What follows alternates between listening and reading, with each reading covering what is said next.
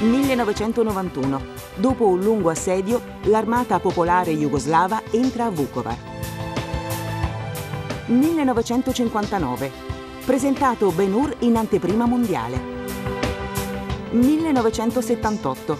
Guyana francese. Jim Jones guida la sua setta al suicidio.